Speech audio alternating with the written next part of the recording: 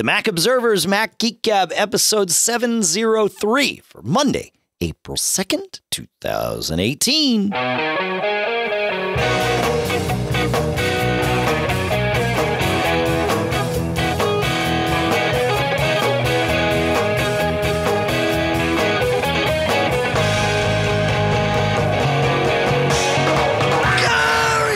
Folks, and welcome to the Mac Observer. Easy for me to say, the Mac Observers Mac Geek. We are the show that takes your questions, your tips, your cool stuff found, all that stuff. We mix it together, we organize it, we we study it. We try to bring you answers to your questions. We share your tips. We share your cool stuff found. The goal in all of that is for each and every one of us to learn at least, yes, five new things every single time we get together. Sponsors for this episode include Smile, uh, where at textexpander.com slash podcast, you can get 20% off of Text Expander, your uh, subscription there for the first year. And then also Ring, where at ring.com slash MGG, you can get up to 150 bucks off of their ring of security kits for your homes. And we'll talk more about both of those things later. Here in Durham, New Hampshire, surrounded by a ring of security kit, no less, I'm Dave Hamilton. And here in Fairfield, Connecticut, surrounded with a bit of security and snow, which is now going away. What? Snow in April? Are you kidding me? It's April. Yeah, This is John F. Braun. yeah man. We got some uh, we got some snow this morning throughout New England. That's uh you got more than us, I think. So yeah, it was another letdown. yeah, but I mean we The we, people we were shaking their fists at uh at the the superintendent of our school system because apparently it was it was kind of treacherous in the morning. Oh. Delay uh, school and uh, Th- those those guys have such a tough tough job trying to figure out whether or not to cancel school. I mean, it's easy when it when there's supposed to be two feet of snow, like no problem.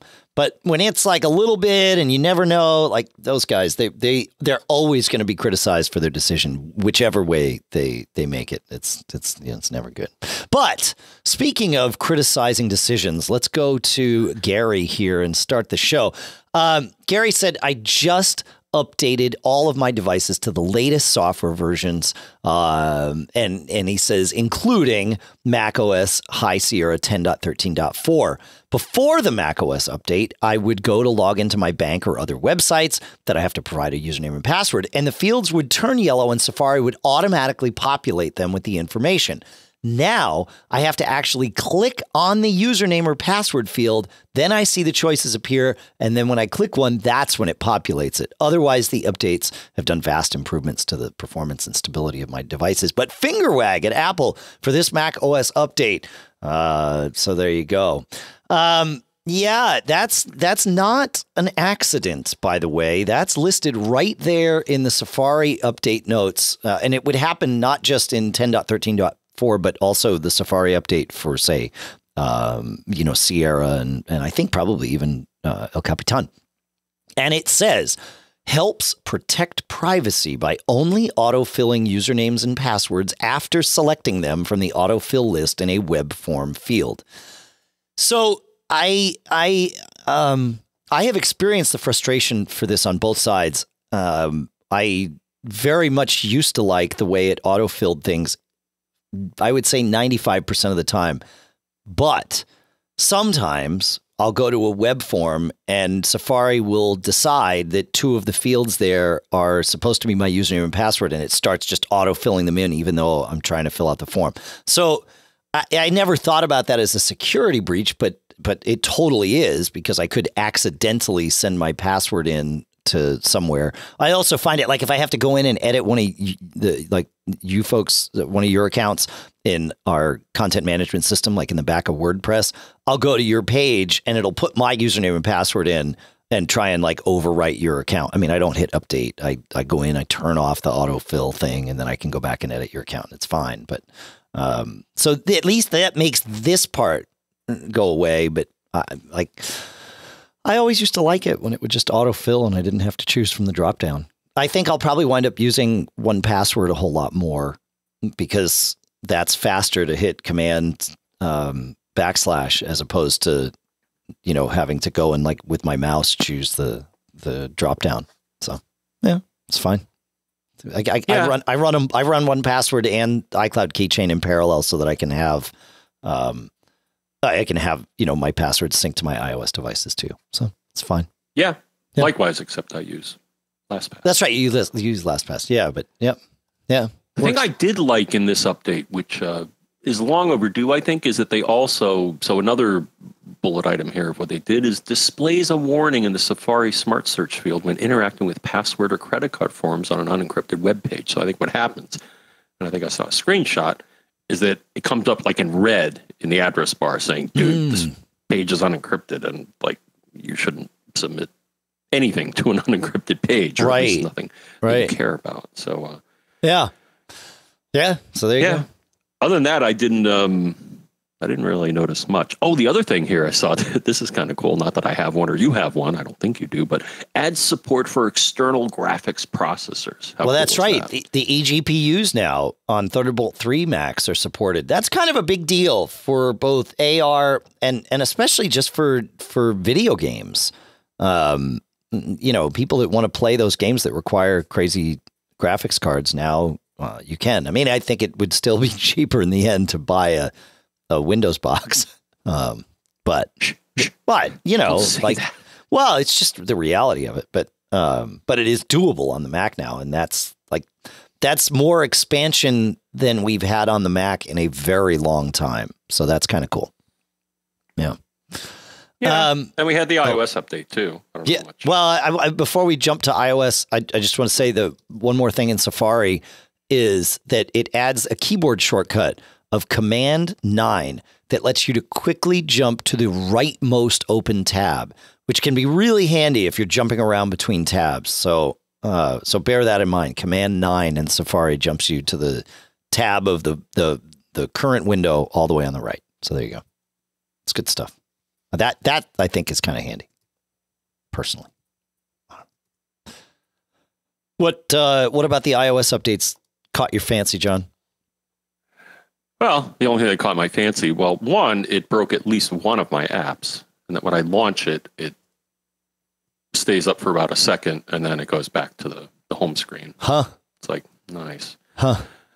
I wrote the people that make it. It's our it's our local uh, state lottery, Oh, okay. Okay. um, and I verified. You know, I I, I had a, a, a my iPad. I did an update and it worked fine, and then on my iPhone, which I updated, it, it crashed. So I actually wrote them. Sure. They actually got back to me quickly because. Uh, It sounds it sounds like a sounds like a poorly written app. I don't I, don't, I wouldn't necessarily blame that on the Uh, update. I mean, it's probably is- them.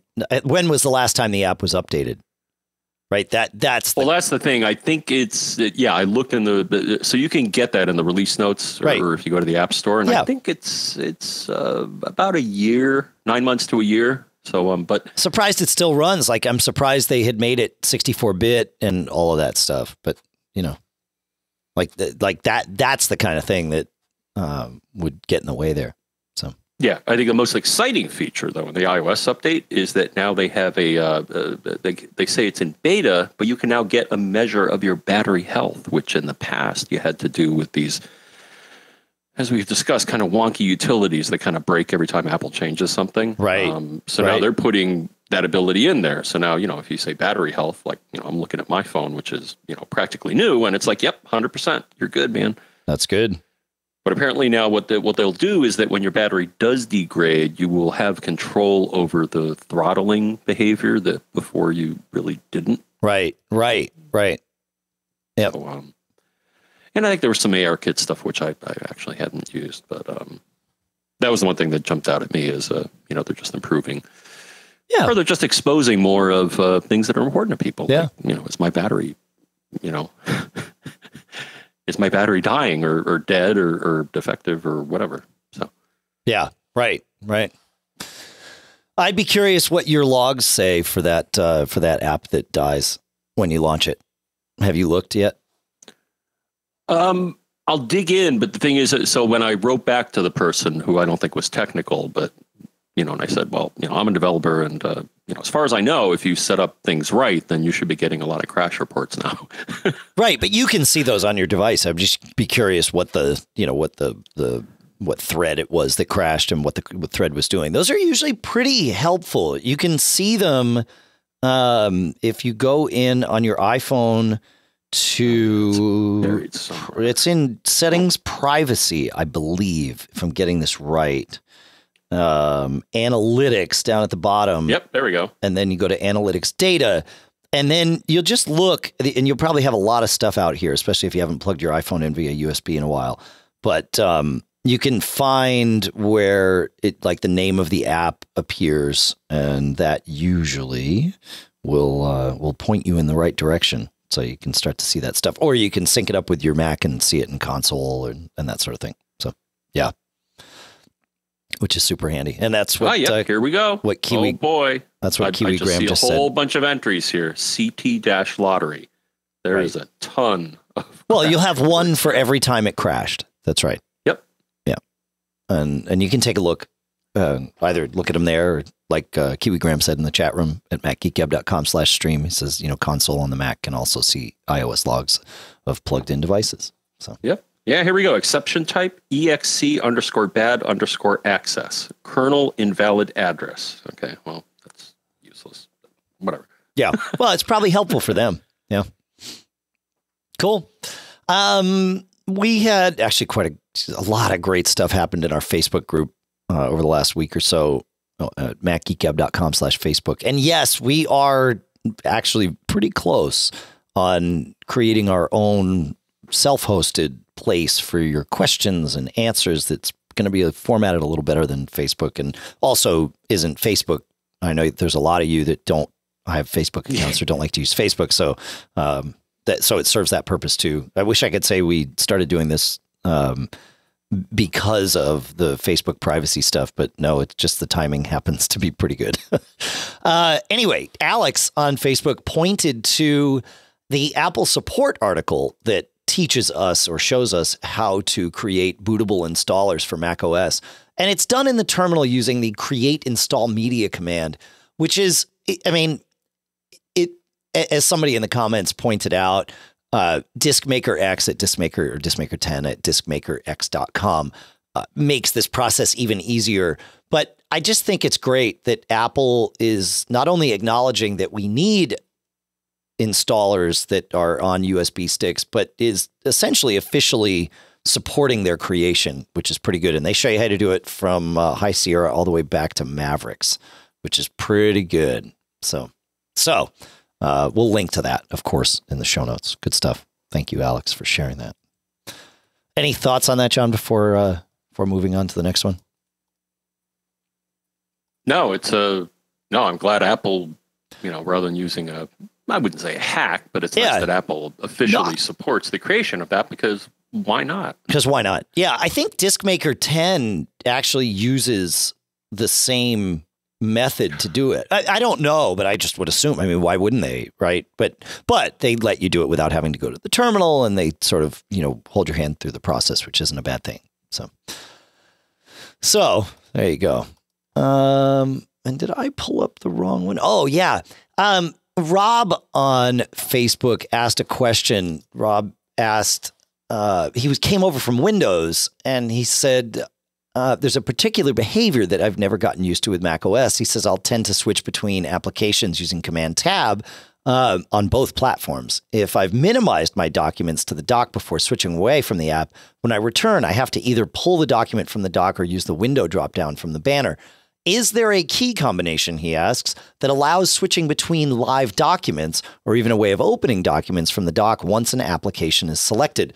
And Gary was very quick to answer correctly that command um, backtick, which on Apple's keyboards and most keyboards is the key just above tab. So it's um, it, it looks like the it, almost like an apostrophe kind of leaning down to its left. Um, command backtick will cycle through the windows of the current app, and if one of them is in the dock and you select it, it will pull it out. So you can command tab to your app, and then basically just move your hand a little bit, and boom, you're there. Uh, command backticking through all of those uh, those great little windows. So perfect little solution, Gary. Thank you for sharing that. Good stuff. Yeah, good stuff, John. Nice. Cool. Uh, where are we here? Oh, in the cool stuff found department. Uh, Ev the nerd writes in with uh, with something that are called light dims. L i g h t d i m s. We've talked a lot and at different times about the bright lights bothering us on things like chargers with our Qi chargers next to our beds or that monoprice box that I have on my TV to switch between all the HDMI signals or whatever. The light is just, you know, piercing. And so you and I, of course, John, always jump to use electrical tape because that's what we have.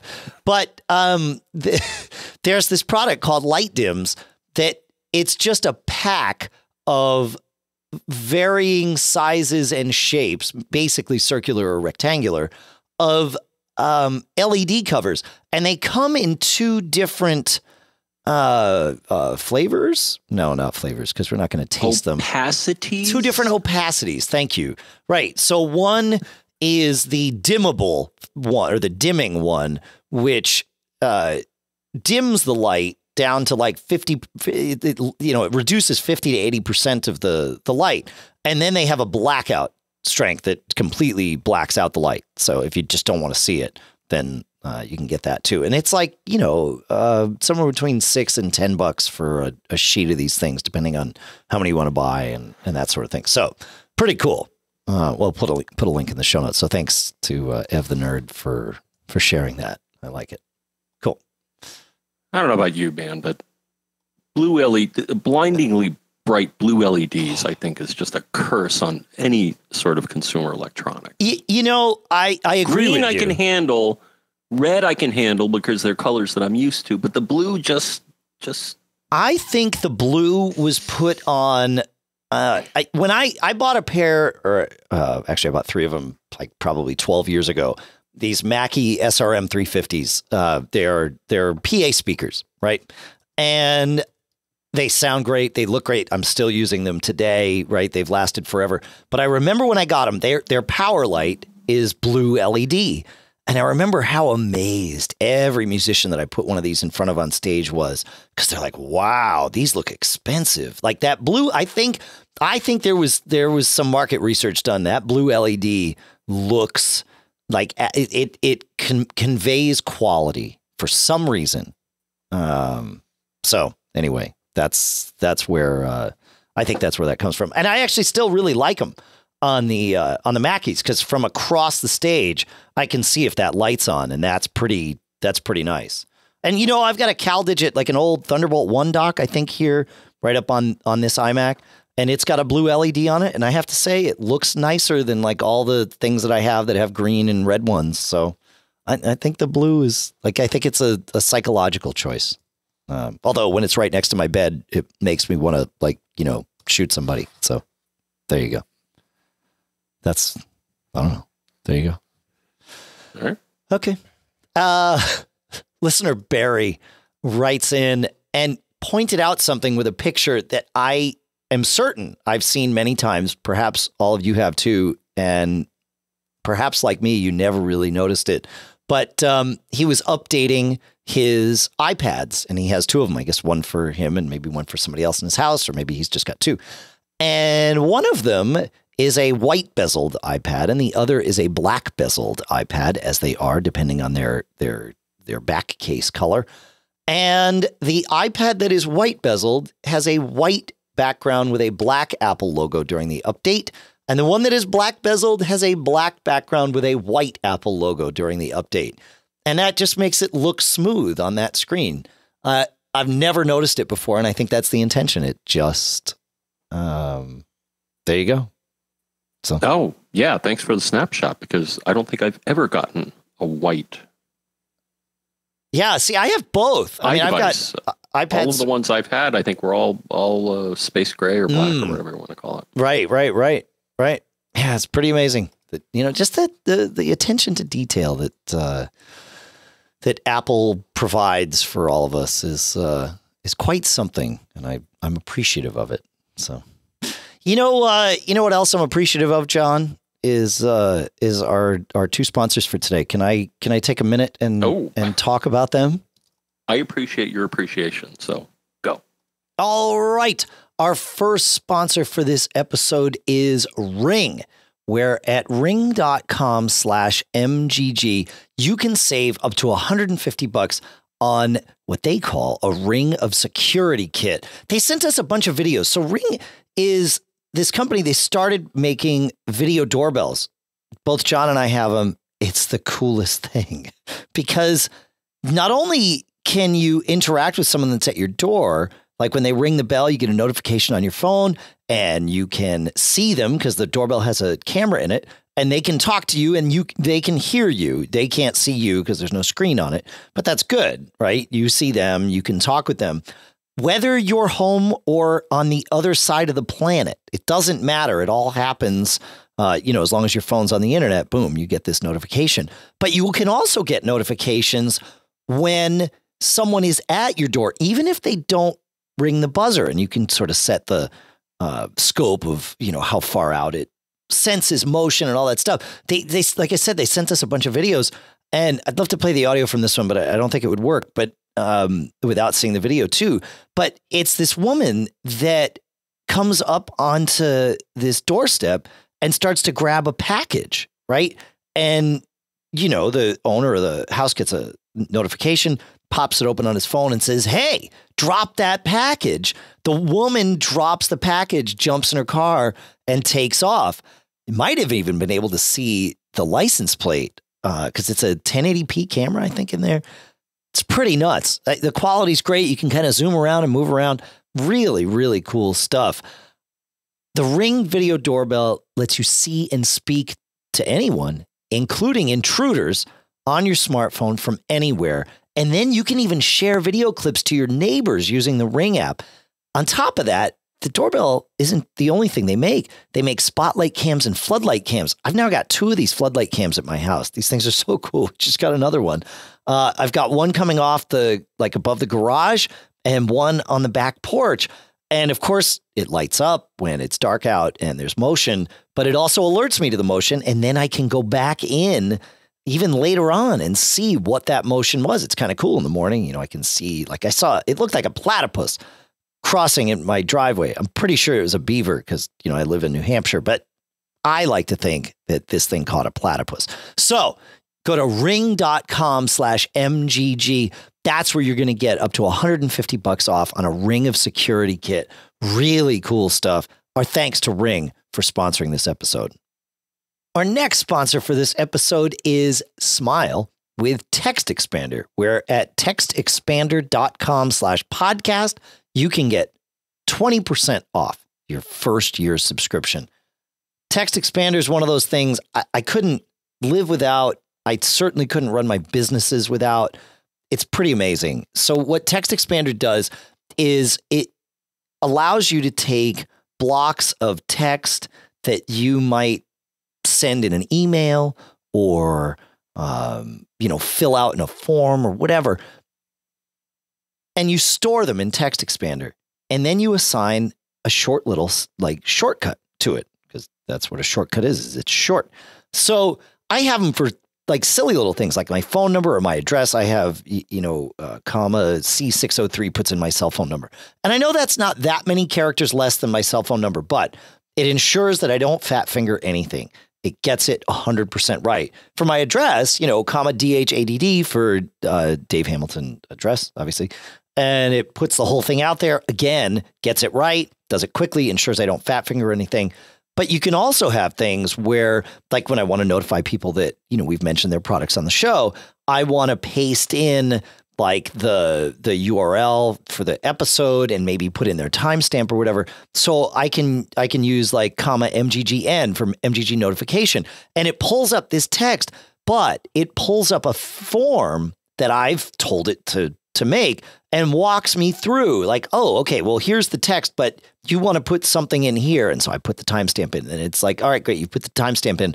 Now you had this other spot set for something else. I paste the URL in or whatever. Or if I know I'm going to have the URL on my clipboard, I can have it automatically slurp in the contents of the clipboard. Like when I want to make our, our Amazon affiliate links, I just copy the product code and I type comma MGG AMA and boom, it makes the whole thing by baking what was on my clipboard into this affiliate link. Makes life super, super simple. You've got to check it out. Go to textexpander.com slash podcast. You get 20% off your first year of this fantastic product that, like I said, I certainly couldn't and wouldn't want to live or work without. Our thanks to the folks at Smile and Text Expander for sponsoring this episode. All right, John. We um we heard And Dave, you were my Yes. first ring customer, I have to say. Oh, it was, that's was, right. Pretty darn cool because uh, my, my, my esteemed colleague and his wife came down uh, in my hood, and they were the first people that rang my uh, doorbell, except me. that's right. But you had caught your mailman on there just putting stuff in just because it caught your motion, right? Oh, well, the motion detection, yeah. Yeah. So, uh, so I think that's what most people catch, or people trying to steal your mail or packages. Right, right. But, yeah, um, exactly. Yeah, yeah. Yeah, Yeah, it it's, was kinda it's pretty cool tech. Yeah, for sure. It's like motion alert, and I'm like, oh, what is it? And it's like, oh, it's the mailman. Okay. Yeah, yeah, yeah. It's pretty crazy. I it, I've been very impressed. Like I like I said last episode too. It's just been been blowing me away. In fact, uh, we have a bunch of comments from previous episodes, and uh, and so Oh. I will jump to no, I'll, I'll jump to Louis, which is just about all this smart home stuff. Actually, I think this came in to uh, our TMO Daily Observation show earlier this week. I was on there, and we Jeff Gamet and I talked about smart home stuff. So um, the question came in there, but it's totally relevant. Um, he asked, I was just listening. Uh, actually, yeah, he said to the TDO for uh, March 29th. And he says, and you read my mind. I am in the process of trying to figure out how to configure my front porch lights in an automation scenario. There are two lights on my porch, the only lights in my entire house that I have the desire to automate. So I'm thinking because they're on the same switch, that a Wemo switch makes more sense than smart bulbs and a hub. You might be right about that. Um, and it basically, I told the same story that I did here on Mac Geek Gab about how I got the Philips lights and everything. So you folks are all caught up. Uh, it says, I, I have a ring stick up cam. Ideally, I would like the lights to come on at dusk and turn off at dawn. The lights shine into one of my bedrooms so I can foresee that they might be turned off uh, from time to time. I would like the light to come on automatically when motion is detected by the ring camera if the light is not already on, and of course, turn off after five to 10 minutes. I had thought I would use IFT to configure this, but what you said on the podcast about IFT versus Stringify has me thinking, should I be using Stringify or HomeKit instead? He says, I do have an Ecobee thermostat, but besides that and the Ring camera, I don't have any other needs for home automation. And it seems like HomeKit configuration would be a real hassle. Any advice? Yeah. So, um, Right. Uh, Ring isn't currently supported by HomeKit. They say it's coming, but so HomeKit, if you want to link with Ring, not so much right now. Um, but otherwise, HomeKit could do this, and we talked about that last week. How HomeKit will do some of that stuff.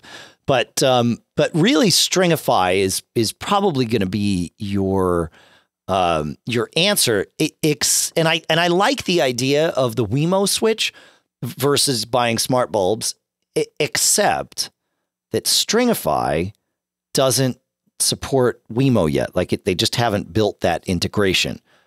But IFT does, and IFT has an integration for Stringify.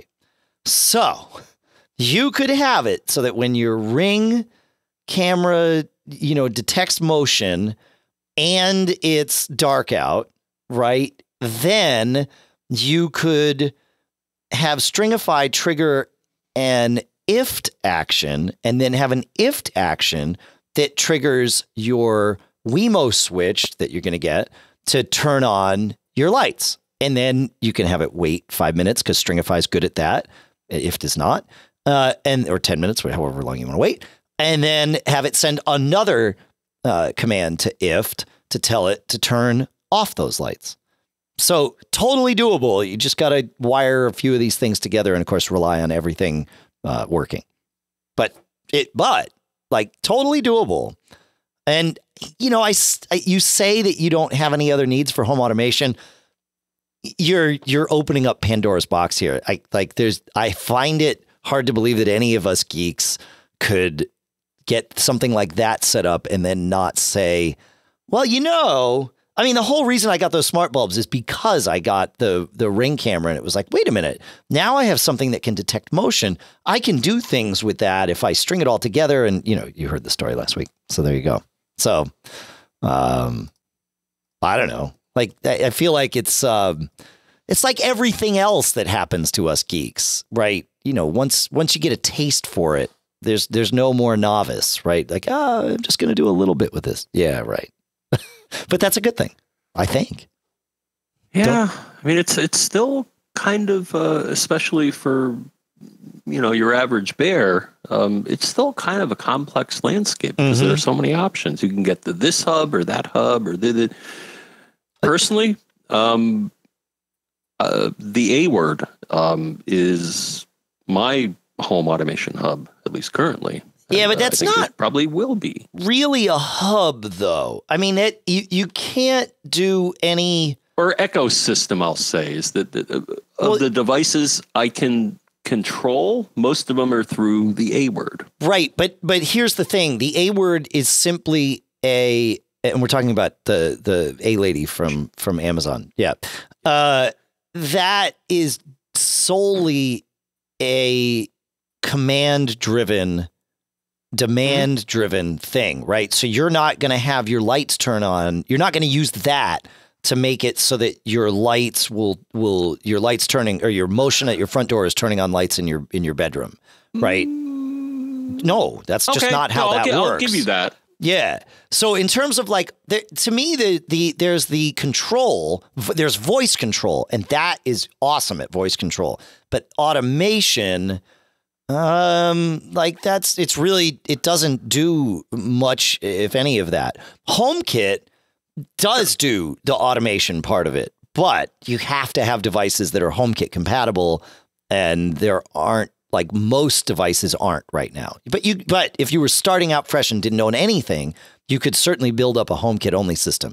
But you're going to wind up hitting a, the wall of frustration with that because you know, mm-hmm. HomeKit. Well, it's just it's Apple. It, it's the normal Apple wall of frustration.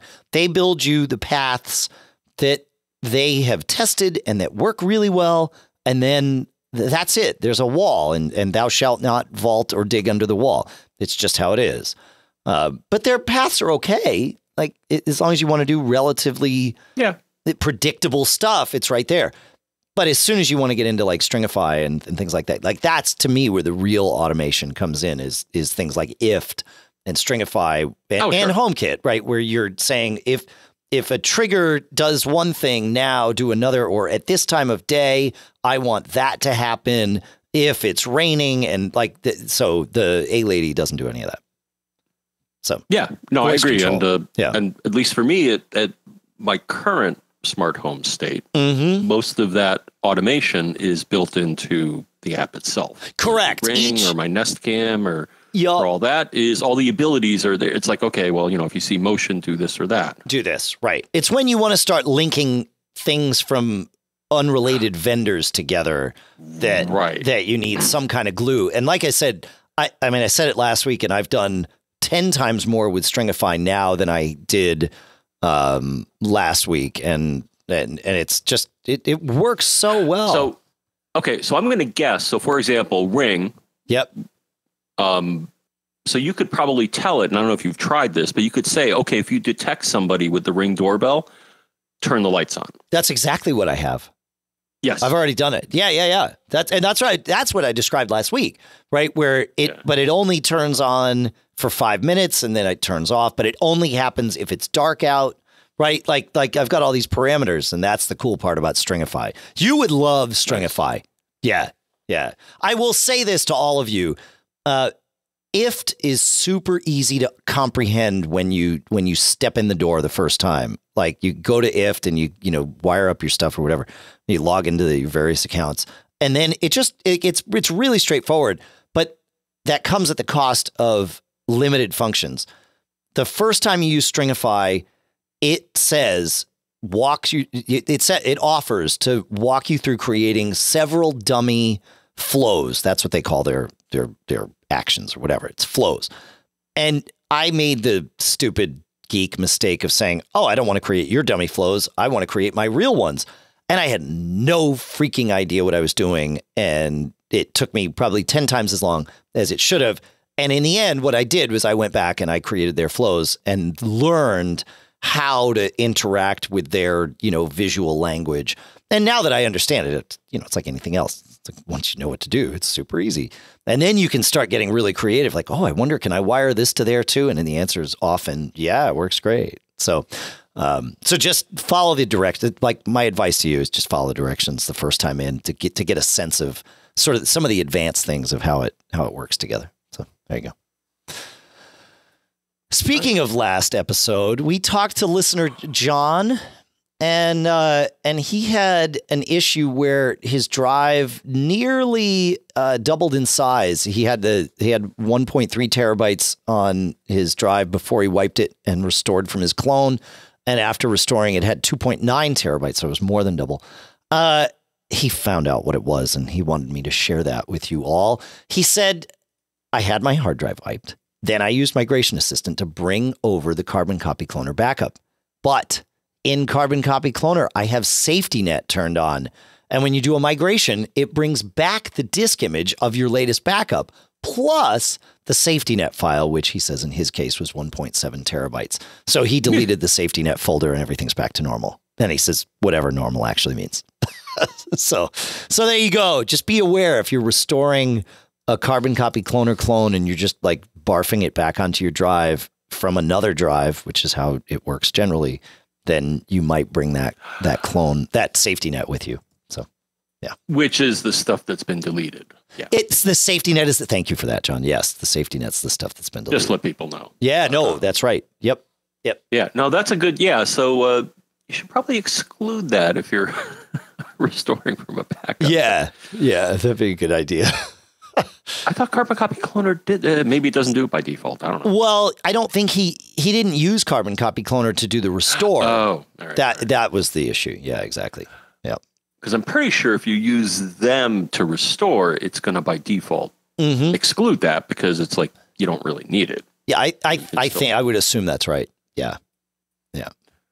Okay. Now we had one listener. I just want to add something here yeah. um, in the in the uh, in the the arena of mysterious disk space uh, issues. Yeah. Um, one listener actually wrote in, um, and I noted what they wrote into us, but they said, "Here's another." Whoops.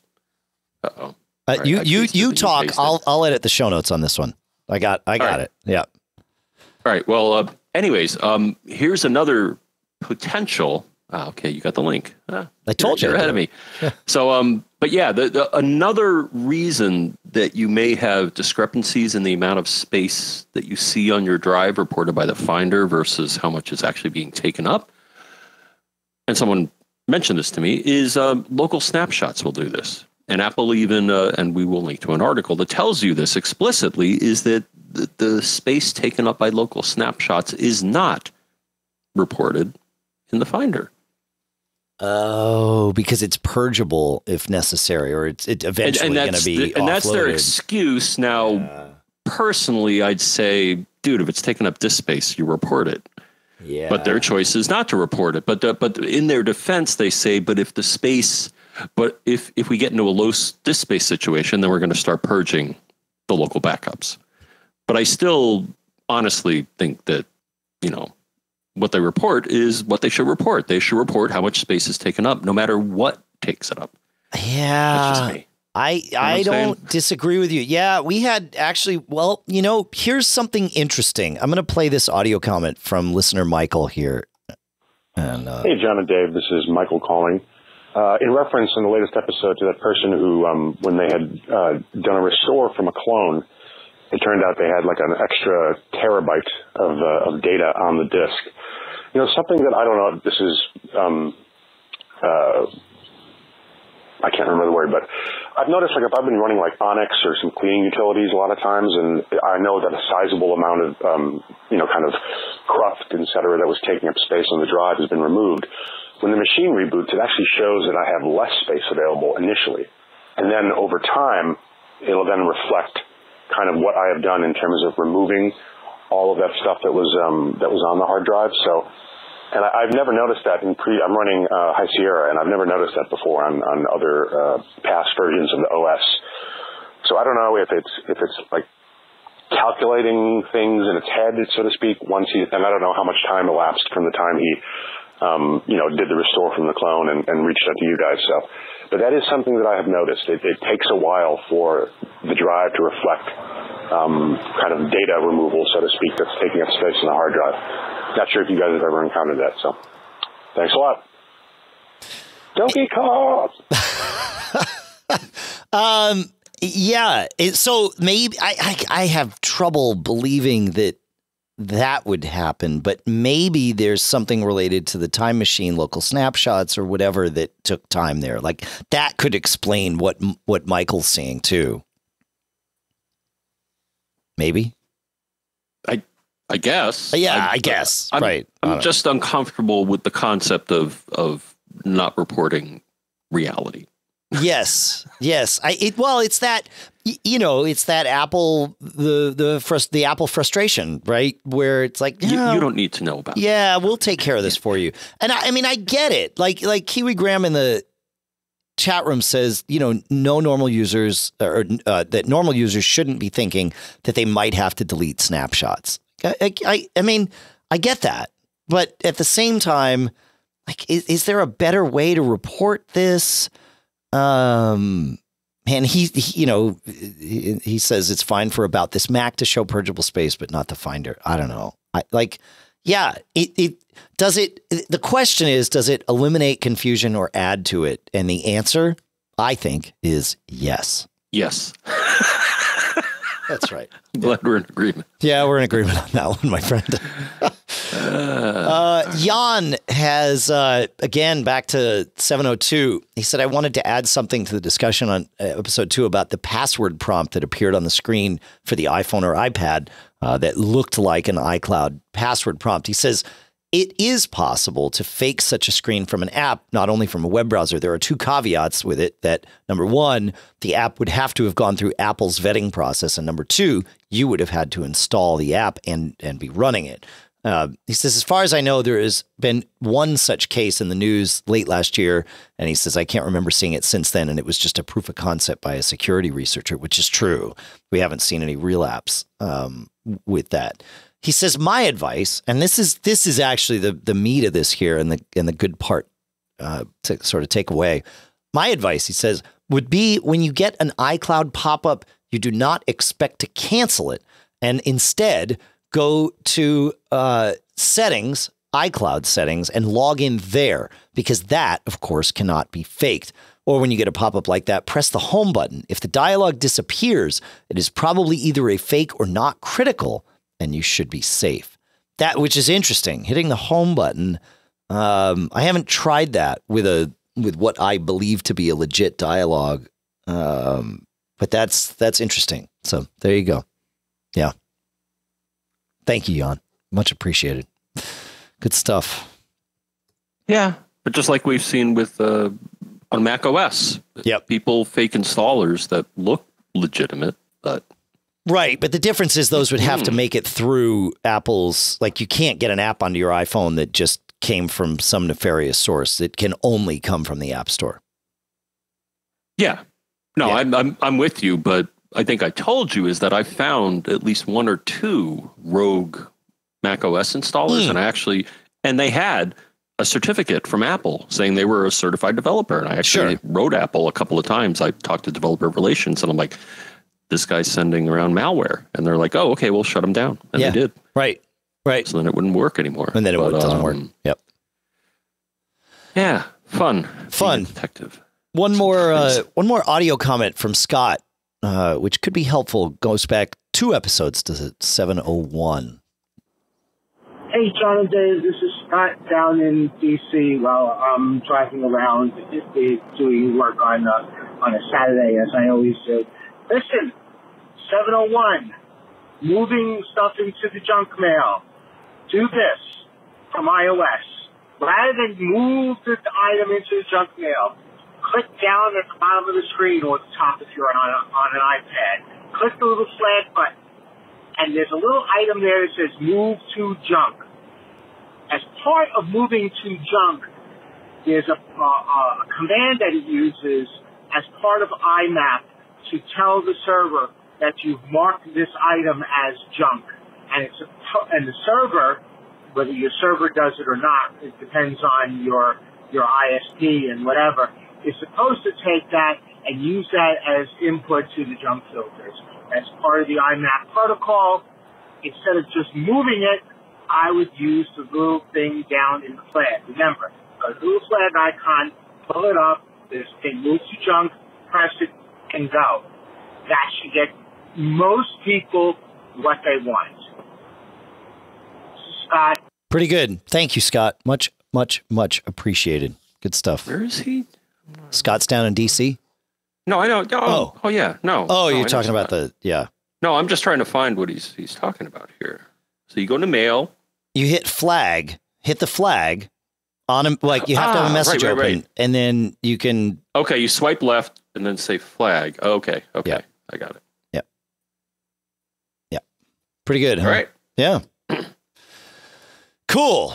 Cool stuff. We have some uh, questions to answer, John. But the first thing I want to do is thank our premium subscribers uh, whose contributions came in this week on the biannual $25 every six month plan.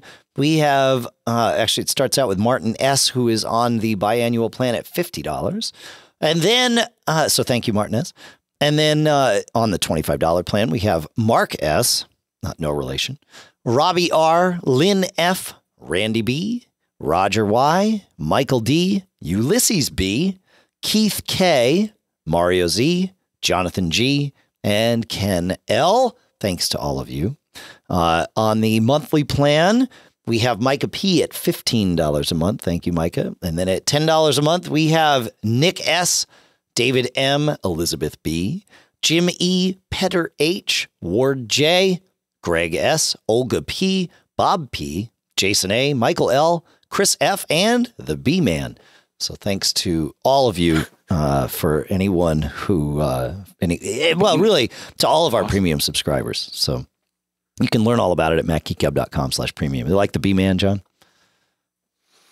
That's, I uh, think we all like the B man. we all do. Yeah. Well, it's, I mean, we, yeah, we like them all. I mean, he's a step behind the A man, but Oh no, the B man's number one in, in our book. Certainly today. The A man wasn't on the list, so you know, no love. uh th- seriously though, thanks to all of you. We like I know we say it every week and we mean it every week. It's uh it it's part of the fuel that keeps us going and it really means a lot. So thank you. Um now to earn that fuel, John, it's uh let's talk about some of these things.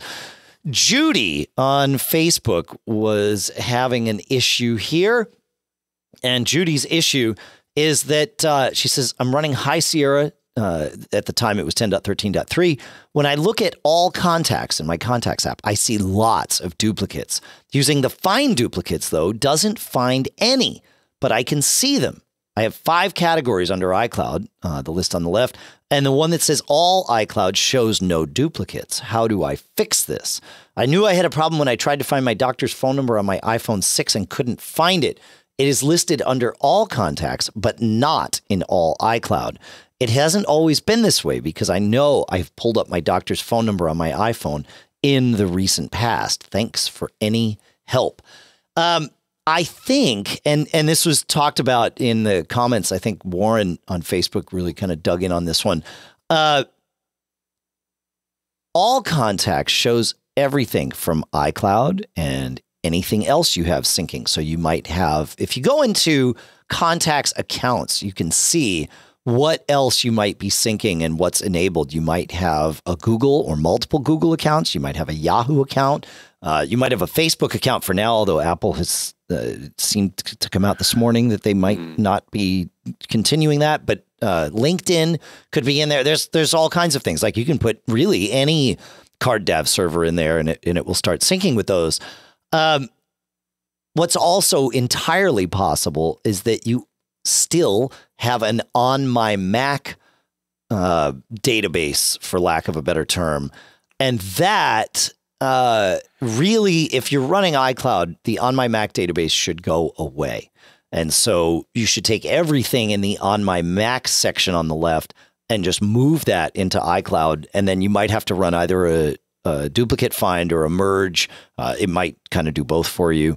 But um, but you want to get everything out of on my Mac, and then you want to disable the on my Mac library, uh, unless you have a very specific reason to keep it running. But my guess is that your doctor's phone number is in your on my Mac list, and and that's why it's not syncing to iCloud and not appearing on your other devices and all of that good stuff. I, I found that I had an on my Mac list for a while. Uh, and I don't know why that was. You know, it just like, but things, my Mac was defaulting to putting things in there and it was bad news. So I got rid of it and then, you know, then things were good.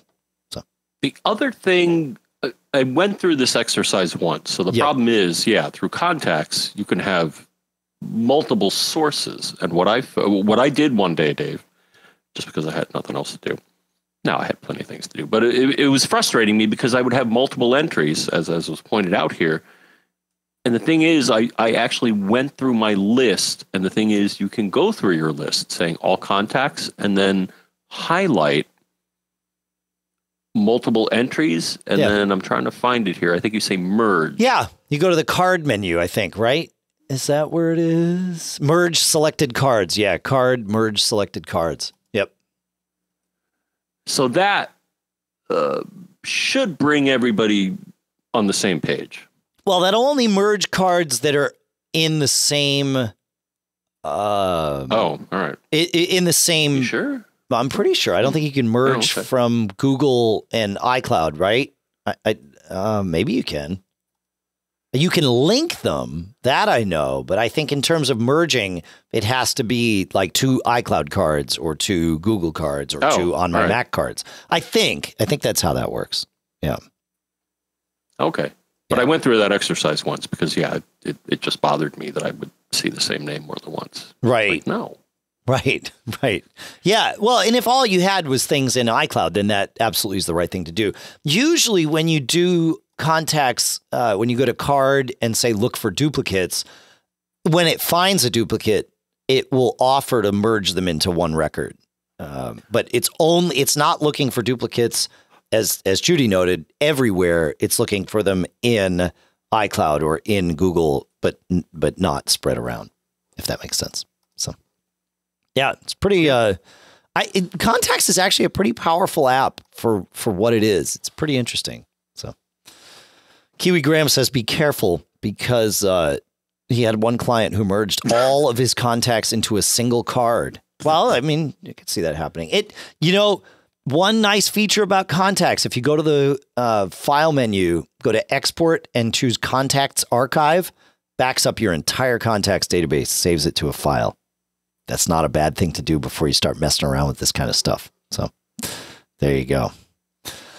Uh, and Brian Monroe in the chat room points out that the same is true in terms of the on my Mac versus on iCloud thing. He says the same thing is true with the Notes app. So be very careful with that as well. Um, and the same can be true with your calendars.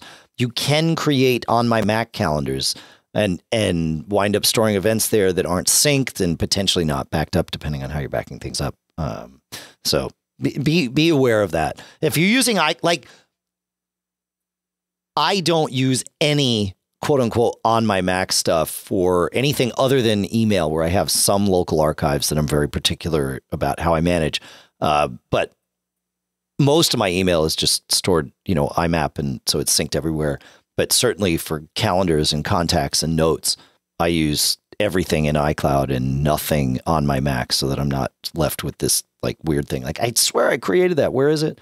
And you can do the same on your phone. You can have a, a calendar or a contact record or a notes record that's on my iPhone and it'll be stuck there for lack of a better term. So just be aware of that stuff. I think that's the that's the best I can offer. Yeah? Right, John? Yeah. Yeah. Mm-hmm. Mm-hmm. That's what you say. All right. Uh, let's go to Aaron here. Aaron says, I got a new to me iMac to replace my 2009 Mac Mini. I spent a few days testing out the new system and running diagnostics using TechTool Pro. After determining that the system was solid, I went to move my data over using Migration Assistant. Well, I'd already created some user accounts on the new system that matched the old system's account names. Shouldn't it be as simple as moving the migrated files into the new account, then changing uh, permissions? to set the files to each user's directory uh, in the new account. Then remove the migrated user and whatever remains of the temporary directory.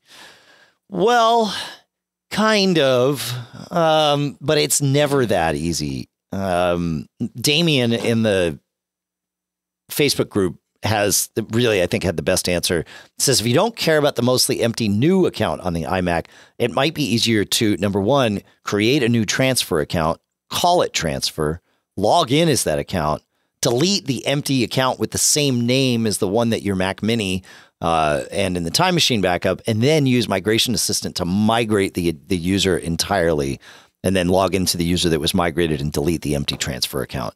Like I, I like that's the best answer there. Trying to merge accounts like that, especially when there's no data that matter. Like you're you're I, I think you're creating more trouble than it's worth. Um, yes, Aaron. The reason is understandable, perhaps not to everyone, but certainly to me. Aaron is uh, definitely a Unix type person, very comfortable with the command line and says that he wants his main user account to have a user ID of 501, which is the user ID that is assigned to the very first account that is created on your Mac when you either migrate or log in. But once something's created, then the next account would be 502 and 503 and 504. And that can make a difference if you have an external drive upon which permissions are active and you move it around from Mac to Mac. Uh, that can get very frustrating if you have you know files on there that are owned by user 501 and on one Mac you're user 501 and on another one you're 504 and now you don't have access to those files. So that th- there can be reasons other than just being you know particular about it. There can actually be practical implications of that. So that but but Damien's answer is the right one like for for 99% of us just don't worry about the user id just delete it migrate in move on. Yep. Life will be good. Right? Yeah. and the follow-up is don't do that. Well i get why aaron i mean the other answer would be to like I, once I he's tested create, it create well, the thing is, I wouldn't create. The thing is, the first thing I do after installing a new OS is migrate data. I wouldn't create. I wouldn't start using the OS until I've brought things over from a prior installation. But that's just me. Well, but that's exactly why Aaron did that, right? Because Aaron yeah. got a new iMac that was used. It was new to him, but but was a mm-hmm. used system and wanted to make sure it worked. So he had to create some kind of user account to do testing on it mm-hmm. and this, that, and the other thing. So, I mean, I get it. Like I, I, the the process all makes all right. sense. But yeah. but you could he could wipe the entire drive and and reformat it, right? And then migrate mm-hmm. in and and his user account would be 501 and everything would be happy and he would never have any lingering. That's actually if that's really the best answer is just wipe it. And and now that it's tested, it's good. All right, cool forget about the test, wipe out any evidence of that, you know, boom, you're done. I, I think. There you go. You want to take us to Patrick, yep. my friend? Patrick has a fascinating one. All right. And I learned at least one new thing, Dave. That's cool. That's what we're here for. Patrick writes in and says, Good morning, gents. Good morning, Patrick. talking about? Who, who's he talking about? just call, just Looks like I got caught. My late 2013 MacBook Pro was running slowly and very hot, so I finally decided to boot into recovery mode and reinstall macOS High Sierra 10.13.3. In doing so, I lost all passwords stored in Safari. I did create a backup prior to doing the reinstall. Good man. But I don't know where the passwords are kept, and I wouldn't know how to get them reloaded into Safari. Any thoughts? Oh, yeah. Also, I mean, need to do a full wipe and start again. Do either of you have best practices uh, or list of steps to do this? So I'm, I'm going to try and answer both of those, Dave. So here's the thing.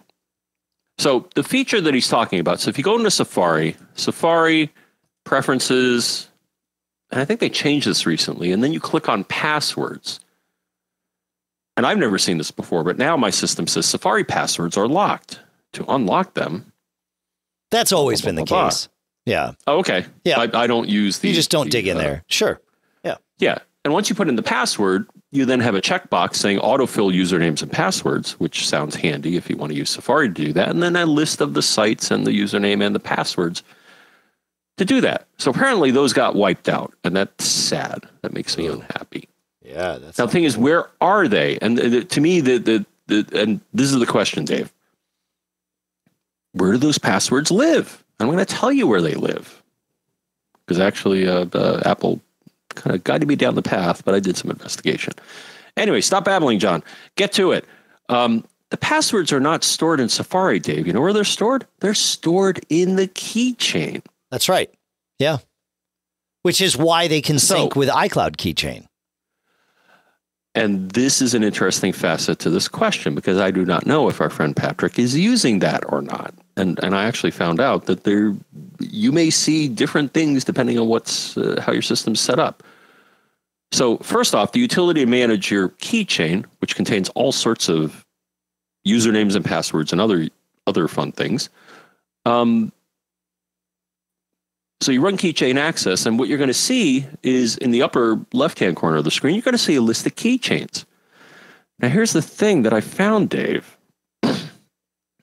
So you're going to see, like the third entry down, you're going to see an entry that's going to have one of two values. It's either going to say local, Mm-hmm.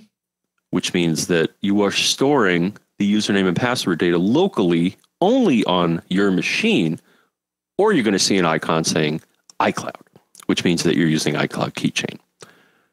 I suspect in his case, what happened is either the setting got flipped or he was just doing local storage and not using iCloud Keychain. The other thing is that if you click on the passwords category, so for so the, there are two things you got to click on. So you click on keychains, you're going to e- either see local or iCloud. And then you click on the passwords category and you're going to see the entries that you also should have seen in Safari in the keychain. My guess is that Patrick is not running iCloud keychain or and I found this in my case Dave as I actually found on my Mac that it got disabled because I got this local icon. I'm like, "What? I thought I was using iCloud keychain and I wasn't." So, oh, so you you were suspe- you were using local, but not. well the thing is i don't iCloud. use i don't use apple's implementation to manage my website i use lastpass. So Right, it wasn't an right, issue for me but at some point my icloud keychain setting got turned off. And i don't know how that happened. It may have been the latest os update. I, I, I don't know. Um, so i guess my suggestion would be so maybe what happened is that he either had iCloud keychain disabled and just has to re-enable it and then because they're stored in the cloud he will then have access to his um, things again now the bad news is that if that was not the case and they were only stored locally then i think the only option is you have to go to your backup run keychain access and painstakingly copy the, the thing is i didn't find an option in keychain access to actually export that stuff you actually have to manually copy and paste for each entry Hmm. and I hope he doesn't have to do that. So I'm hoping that what happened here was that iCloud Keychain was was disabled, and that by re-enabling it, um, you're going to get all your passwords and stuff back. Oh, that could work. Yeah, why not? Right, right, because it's going to slurp them all back down from the cloud. Huh. And I found that in my case. So when I re-enabled on my machine that had it disabled, then all of a sudden the icon changed. Then all the same data was there, but it was pulling it from the cloud instead Right. of pulling it from my local storage. Uh, So ah, Um, you may also uh, you may want to consider uh, nothing wrong with iCloud Keychain. You may want Sure. to continue using it, though it sounds like in this case something didn't work right. You may also want to consider maybe looking at another one, like LastPass or 1Password, or there's another one I've seen floating around out there that I think is fairly new. Well, we'll talk about it later, unless you know what I'm talking about. Do you know what I'm talking about? No. I don't think. There's another password manager I've seen people talking about that. Um, well, there's, I mean, there's there's RoboForm, which has been a recent sponsor here. yeah, there's another. There's another one out there. but, Okay. uh, I'll, I'll dig around, but the, Yep. there, there's a new kid on the block. But uh, All right. you know, I, I don't think you can go wrong with Last, LastPass or 1Password. Yeah. Yeah. You're One I, Password. I, am LastPass, and uh, I've, I've been running RoboForm on one of my machines, and it's. I Oh, mean, it, right. it it it's actually quite good. It's it's hard to, to you know to shift everything over um, all at once, but uh, but yeah, I've been impressed with it. So yeah, Yeah, and then to his second question, as far as um, you know, getting a fresh start, Dave, um, there's a number of paths you can take. So your favorite, I know, is the nuke and pave, which is basically you start from scratch. You erase your drive, you install the OS, and then you install all your apps and migrate your data over. Um, that's probably the best way to get a fresh start, but it's the most time consuming. right. Um, It, my I, I will say that it is not as time consuming. Every time I've done it, it has been far less time consuming than I expected. So there you go. Yeah, especially if your apps are through the App Store. If they're one-offs that you purchased individually, then it can be kind of a pain in the neck because you got to. How many apps do you run? I mean, like that's the thing is like, that. That's always my thought is, oh yeah, I got to reinstall these apps. There's like seven. It, it's not Huh, usually right. tons. So I like I don't know. And then there's No, I'm with you. um, what's that thing? Is it uh, Mac back? No, is it Mac backup or something? Mackup, M A C K U P. Um, I, I think. Hang on, let me look. I shouldn't be installing with Homebrew here, but I think it's called Mackup, M A C K U P. Um, that backs up things to Dropbox. Like it backs up all the apps that you have and and all of that stuff and your settings and everything so that you can migrate to another computer really really easily. I'll put a link in the show notes to Mackup. And uh, and you can install it with Homebrew with just brew install Mackup. Oh, yeah. Okay. Yeah. So, so that's one strategy. And yeah, as Dave says, it, it probably isn't as bad as it sounds. The, the the strategy I usually take, Dave, is that I'll erase the disk, install the OS, and then I'll use Migration Assistant. Now, yes, there is the potential to bring over Cruft, but it's going to save you a lot of time. Maybe. Right. Um, but that's what I've. Uh, uh, yeah, I'm just not a fan of the nuke and pave. You are, I'm not, and you know we're we're both still here. So, yeah, yeah, yeah. Right. right. Yeah. Um, and lastly, the password manager that I just found here, or or just reminded myself by doing a Google search, Dashlane. You ever hear of this? Dashlane. No. Well, they claim it's uh, never forget another password. Huh. Get All right. Dashlane, and it's free. So uh, I may have to give it a whirl. Though you know, again, I'm I'm very happy with uh, LastPass, and I think Sure. I'm very happy with 1Password. But uh, you know, can't hurt to check out the new kid on the block. All right. Well, I'll put links to that and RoboForm and Mackup all right there in the show notes. You can check them all out. Cool. Cool. Cool. Cool. All right. So moving on to Chuck. Ch- I, Chuck, this might be a geek challenge, or John, you might know the magic Uh-oh. answer. Yep.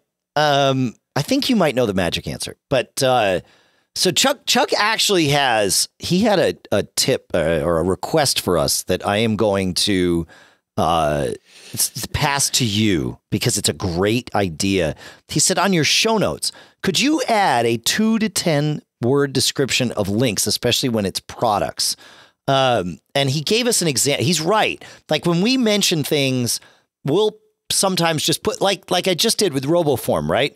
I'll put RoboForm in the show notes or Mackup or Dashlane, and then we move on because there's you know things to do. We're doing the show. Well, when you go back to do the show notes, if you could add in, you know, Dashlane, new password manager on the block, somebody that, that listened might not hmm. remember the name Dashlane, but they did remember new password manager. And, you know, like seeing that in the show notes, I think would help immensely. So I think Chuck had a really good request there. yeah, Yeah. no, I agree. And on occasion, when You do. things- I know. Yeah. when things are too obscure, then I will put in parens typically. Okay, well, th- this is what this Yep. means. Yep. So it's a, a um, lot of like mostly the cool stuff found are just products that we mentioned. Like that, that would, it would be great. Yeah, or like he said, you know, thermal peanut. I mean, Yeah, what is you look that? at that and it's like, well, what is it? I mean, thermo, it probably has something to do with temperature and peanut. I don't know. I have no There's idea. no peanuts in it last Right. I checked. Yeah. Good thing. Yeah. Well, it's about the size of allergies peanut. and yeah, yeah. All right. But so it's a Bluetooth temperature monitor. Right. So uh, very good advice. It's great advice. No, it's really good. And and I I wanted to share that in the show because we really do take all of this stuff that you folks send in, the ideas, the suggestions. I mean, we put them through a filter. Really, it's a filter of does that resonate with us? And does that make sense for what we want to provide for all of you? And with Chuck, I mean, this was like, as soon as I saw it, it's like, oh yeah. And he did a great job. He he copied the show notes from the last one and just did this for five or six of them. And as soon as we saw it, it was like, oh yeah, dude, we should be doing that. Thanks for the advice. You know, thanks for the suggestion. So thank you. Now on to your question. Chuck asks, how do I add a location, like something specific, say in the middle of the woods or a lat long to a, uh, you know, to a certain location? How do I add that location after the fact to a photo or group of photos, not just like Paris, France, but this particular location in Paris, France, or this, like you said, in the woods. How do you do that after the fact to a bunch of photos, John? Uh, yeah. Well, no, no, no. I, I, I know where this is stored. So the thing is, that uh, in, in photos, there's something called EXIF, which Right. is additional data that's not the photo itself, and it's it's uh, you know the camera you took it with and stuff like that. And I thought that photos itself had a way where you could post, where you could edit that if it wasn't supplied by the camera. I'm not seeing it right now, I'm bringing up a photo and looking at the edit screen in photos, and I don't see it.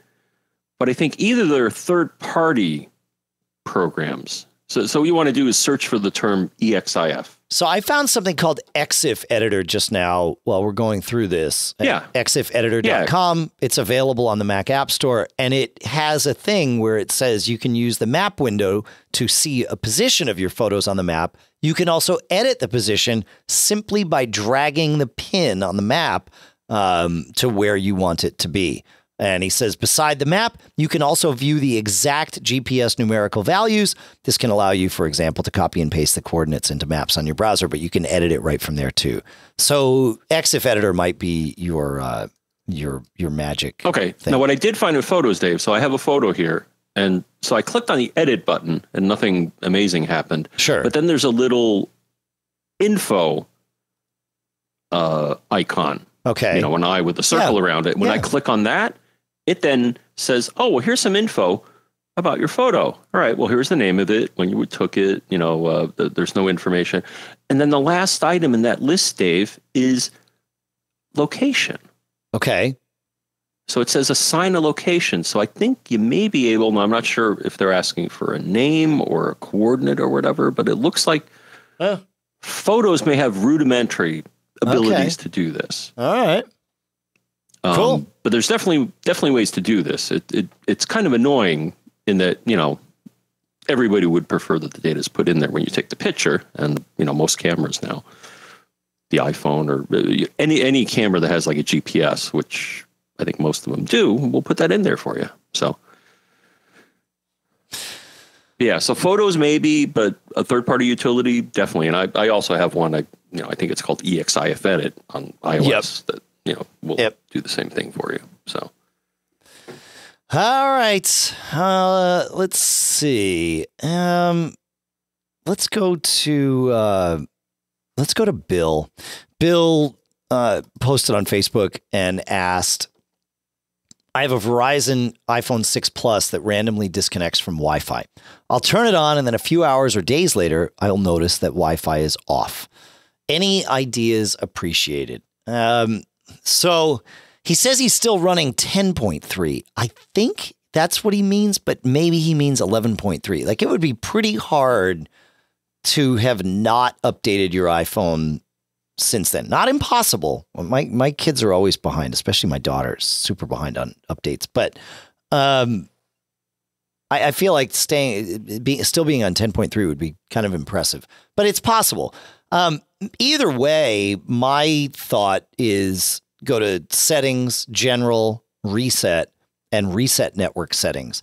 That sort of wipes out all of that without touching anything else. So anything to do with your network, it just wipes it out. And I've seen that fix some some Wi-Fi issues and you know connectivity wonkiness um, in the past. So, yeah, Sure. Any, any thoughts? I don't know. You know, um, uh, you know, you know, worst comes to worst is wipe and uh, nuke and repave. But uh, if he's truly running 10.3, obviously a nuke and repave means you're going to be updated to 11.3. No questions asked. So, Mm-hmm. yeah. Uh, but that settings general reset reset network settings has been quite handy in the past. So I just wanted to make sure we we covered that in there. Um, all right, and then one last question, John. Listener Mike over on Facebook, he asks, well, it's a very important question. He says, uh, I hear a lot of chatter about Drive Genius. Uh, it recently was up for a bundle on bundle hunt that I missed, but uh, is this app a must have for any Mac?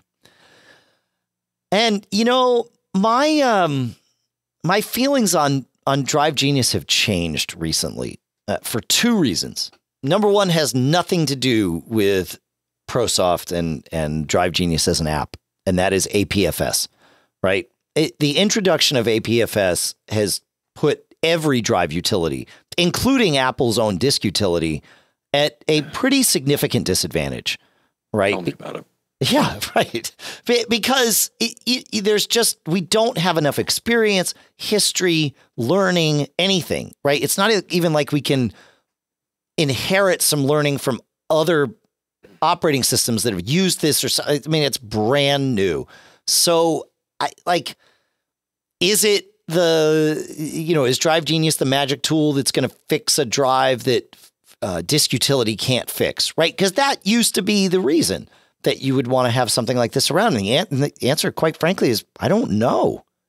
Like we haven't, there haven't been enough instances where we've been able to say, oh yeah, man, like that's it. Like HFS Plus, we had like decades with it. Like HFS Plus is older than my children, and one of them's going off to college. So I, like we just don't have enough experience. So I don't know. And and then there's Drive Genius's bundled utility called Drive Pulse, which has been nothing uh, for me other than a source of frustration and like boy who cried wolf false alarms. Uh, I'm sure it could tell me when a drive was about to die, but I would never know because it offers so many other alerts that turn out to be ignorable or incorrect at least in terms of my feelings about where I want my system and how much free space I know I should be able to have and that sort of thing, that I, I, I there's no reason for me to even have it running because I don't look at those alerts. So there you go. Hmm. I still like it because the thing, I mean, it, the, the thing is, it does offer things that you won't get easily on your Mac. It'll check the throughput of your drive, duplicates, large files, cloning, secure erase, all sorts of things. So okay, so we're you're Detailed talking information about on your system. you're talking about Drive Genius itself, Correct. not Drive Pulse. Yeah, yeah. Oh yeah, yeah, yeah, yeah. Uh, it- right. It will do those things, and that those are handy handy tools to have around for sure. I don't disagree with Yeah. that. Yeah. So I think it's good to have at least one utility beyond what Apple offers, whether it's Drive Genius or Disk Warrior, or you know, there's there's a, a few others Yeah. out there that go beyond what Apple offers. I, I Um, don't just that. I like that. Yeah, I don't disagree with that at all. Yeah. Or malware. So they have malware scan. You know, that's nice. The physical check of the drive. So, um, yeah, and I, I agree with you. And you know, I, I I kind of feel bad because you know the thing is when I was getting some of these warnings, which I thought were bogus. I wrote a nasty email to ProSoft and then I took it back and said, you know, sorry, I was being a jerk. Sure. in that it's like you guys like you're not reporting the real error and it's like well the thing is they're working with what they got That's which it. is apple doesn't offer i mean i even looked dude i mean the, the thing is so so for some of their checks they're running uh, uh fsck Sure. basically and fsck apfs i think that's the name if you run it from the command line Yeah. Yeah. if it finds a problem, it says, "Oh, um, yeah." Like in my case, when when it reported my drive was you know about to die, it's like, "Oh yeah, um, it, it error seventy three is an I/O error, which is, is essentially useless Right. information." It's like, "Uh, no, drive's working fine." Yeah. Yeah. Yeah. So they were as frustrated as me, and uh, you know, I apologized, and they apologized too, and they said, "You know, we're we're." We're, we're all in the same boat here. Is that Apple is not off is not very forthcoming with information about the internals of APFS at this point. Yeah, that's right. And and, And and to Apple's in Apple's defense, annoys the, Apple doesn't necessarily have all the information in a format that would be valuable to to to provide yet. Right? I mean, they you know they're Well, I mean- you know, I got to tell you. So, for example, you know, I'm part of the developer program. I think you are too. And the thing is, I'm like, can I get some information on what these error codes within FSCK underscore APFS means? Hmm. And there was no information that I could find. It's like, can I get the source for this? I'm, you Yeah, know, no. I'm a developer, or I claim to be. Well, no, Apple doesn't actually- provide the source for that stuff, John. No. But it's FSCK, dude. Why, why would you not provide the source for that? I don't know. Yeah, that's But actually a good question. tell me- that's true. But Yeah. actually, tell me what the error codes mean. Right. Um, because again, in my humble opinion, yeah. IO error is a useless error because it tells me nothing about what went wrong. Right. It tells you there's yeah, there's an issue with the drive. Uh, uh, or getting data to and from the drive. Might be the drive. Yeah, but the fact that the drive still worked and I could read and write from it tells me that no, there really isn't an IO error. Right. An IO error to me is like the drive's not there or it like, you know, violently crashed or, or whatever, but whatever. So, um, Yeah. Yeah, I, I, I, uh, as of late, I, I'm, I'm with you. I, I find Drive Pulse, the, the errors they generate, not that it's their fault, are sometimes misleading. So, Yep. Yep. I don't disagree, my friend. I don't disagree. So yeah, but I like your idea of of making sure you have at least um, some utility from somebody other than Apple that might get you through, or at least do different things. So yeah, and Drive Genius, it, you know, has worked well over the years. So yeah, there you go. Now, Uh, Dave, I got one thing to tell you what's that? feedback at MacGeekGab.com. Yeah, that's you say that every week. It's feedback at macgeekgab.com, isn't it? Uh, you know, last I checked, Dave, you are absolutely correct. It's feedback at MacGeekGab.com. That's right. unless, Unless unless you're a premium listener. And then premium at macgeekgab.com is for you. You get uh, you get top top billing when your questions come in here, and that's as it should be. That's uh, one of our ways of saying thanks to you. You can Yeah. also call us. Yeah, go ahead, John. well, no, I got to thank the people. So I requested, uh, I got did. several kitchen sinks, Dave. Yeah. so we- last week we I got a lot. requested that everybody sends a nice. now, shame on the person that sent me a kitchen sink full of dirty dishes. I mean, dude, what's up with that? But we got several clean sinks. We did. Sinks. They're Uh, you nice know, I. I didn't mind the Kenny's dirty is dishes. really. I, I, like Kenny's actually. yeah. Did, did, yeah, you did, right? Yeah, yeah, yeah. There were good sinks. So, yeah, you can uh, you can find us uh, on Facebook. Like I said, many of the questions today came from our, our Facebook group. Go to uh, macgeekgab.com slash Facebook. That'll bring you right there, and uh, and we would we would love to see you there. And until uh, even even after, but but once we get our own solution, we'll we'll obviously tell you that that's up and running and all that good Yep. stuff too. And you could get on the wrap rod. Do you know what I'm even talking about? no. That's from. It's from Hitchhiker's Guide to the Galaxy. Oh, okay. He's like, give me the give me the wrap rod plate captain, which there you go. means give me the phone waiter. Ah, 224 And if you wanna- 888 geek is the, the rap rod there, John. You want to tell Yeah, us what geek means? Four, three, three, five. That's right. Don't panic is uh, is the is the advice for for calling on that line. Uh, I want to make sure we uh, thank CacheFly at C-A-C-H-E-F-L-Y dot com for providing all the bandwidth from us to you. I want to thank all of our sponsors, of course, Ring at ring.com slash MGG. Uh, the folks at Smile, textexpander.com slash podcast. The folks at Other World Computing at macsales.com. Uh, folks at Barebones Software, barebones.com. RoboForm, as we mentioned in the episode, coupon code MGG over there. Have a splendid week, folks. And uh, and while don't panic is the advice when you call the phone number, don't get caught is the advice every other time. Made up.